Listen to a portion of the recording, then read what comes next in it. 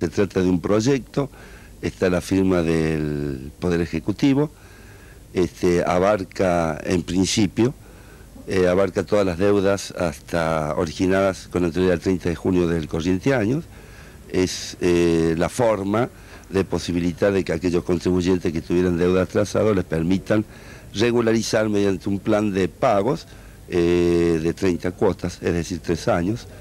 O sea que ello puede significar este, una gran afluencia de presentación y regularización de contribuyentes. Para algunos tributaristas esto sería una moratoria, una suerte de blanqueo, ¿es así? No, eh, como blanqueo no tiene absolutamente nada que ver.